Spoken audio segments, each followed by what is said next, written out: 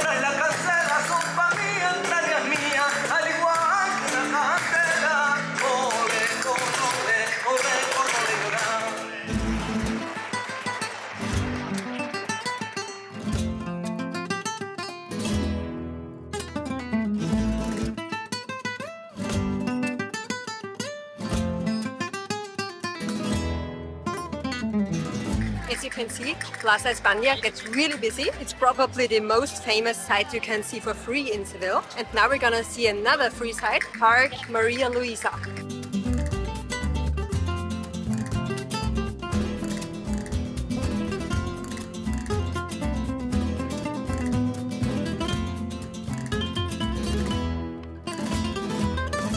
The park is a great place to find a bench in the shade because it can get really hot in Seville. Now it's October and it still has 30 degrees, so in summer it's really, really hot.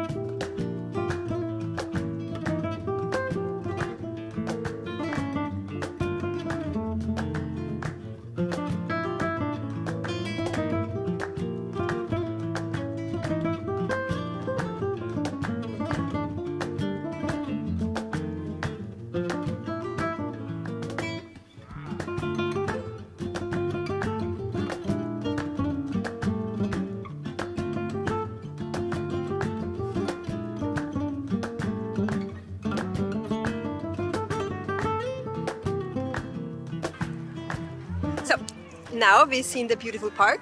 We're gonna head to the waterfront and walk a bit next to the river.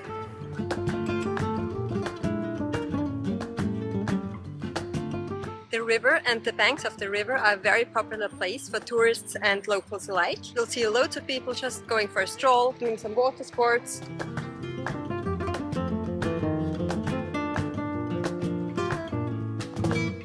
And while you go for a stroll next to the river, don't forget to check out Torre del Oro. It used to be a military watchtower and it also functioned as a prison for a while. Now it's a museum and a viewing platform on top, but I heard it's not worth going inside, so just admire it from the outside and keep moving. So that was the tower, and now let's go for some food.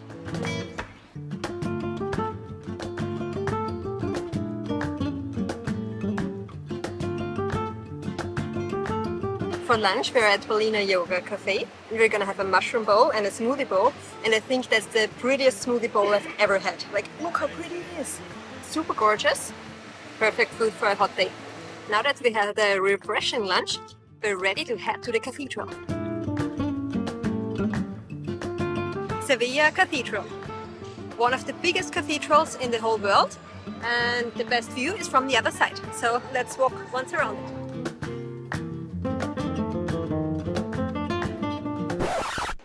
I'm not that well organized today. The cathedral looks stunning, but unfortunately we cannot enter now. In 50 minutes we have our appointment at the palace. There's a massive queue, so no time. In general, I think it's really worth going inside as well. You can go up to the tower. So the cathedral was built on top of a mosque, and the tower is still like a remnant of the mosque. So it's a real shame that we can't go inside the cathedral now. My tip to you that you can do it better than I did. Either book tickets online or have enough time so you can just queue up. I already need to head to the Royal Palace now. I just booked it two days in advance, which was fine for mid October. But in high season, I think you need to book it way more in advance as well. We're just waiting in front of the entrance to the Royal Palace. You can enter 15 minutes before your time slot. It's super busy. It's probably the most visited paid site in Seville. And don't forget to bring your passport. You need a ticket and your passport to enter.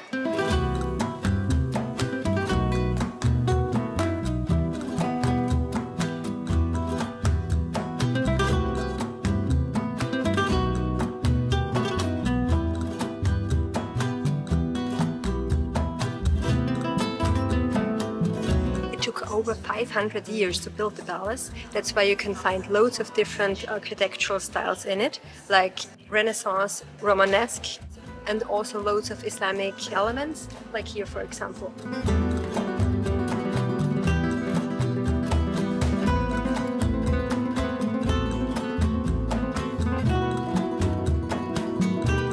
Wow, look at that roof. So cool.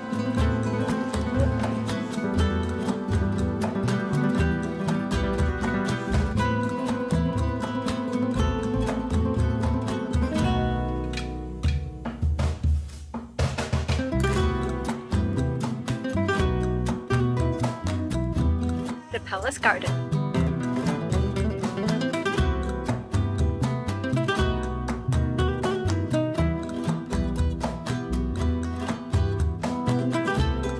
We're in the maze garden right now. We'll see if we can find our way out.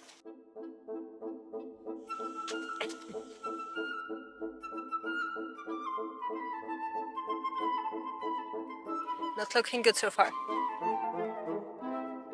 We were there before. I finally found the exit. that was a mistake to enter it in the first place.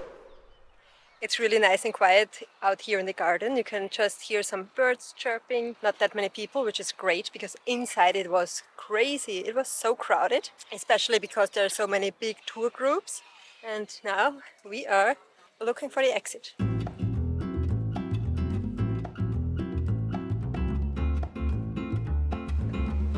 That was our visit to the Royal Palace, and now we're gonna walk through the small streets of the old town towards the Sevilla mushrooms. I really like the small streets of Seville. Even though it's a big city, you still got those like super cute small alleys.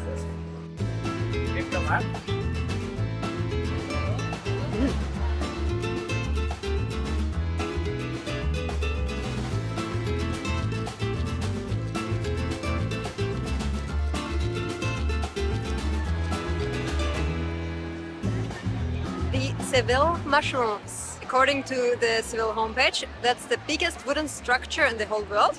They are very big, very impressive. And here you can also find the Seville sign. We're gonna go check out the sign now. Oh, and you can also walk up to the mushrooms. We're gonna do that as well. Need to get my stylish sunglasses out for a great picture. Queue up for the picture first.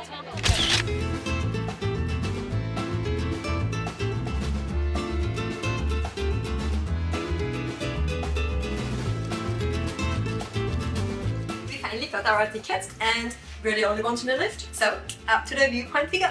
We missed the sunset, but the light show is gonna start soon when it gets dark. So I think the best view is from up there because there are loads of people up there.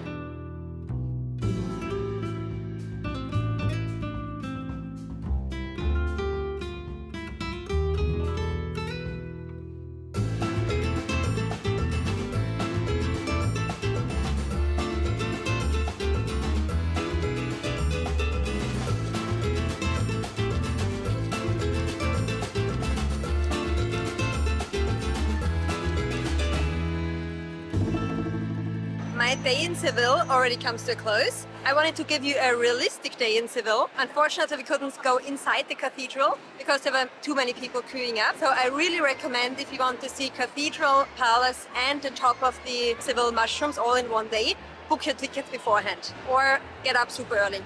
Might have worked out if you got up earlier. But anyway, I really enjoyed my time in Seville. It's an amazing city. But yeah, tomorrow I'm already heading to Granada. Thank you for watching. I hope you liked the video and maybe I'll see you in my Granada video. Bye!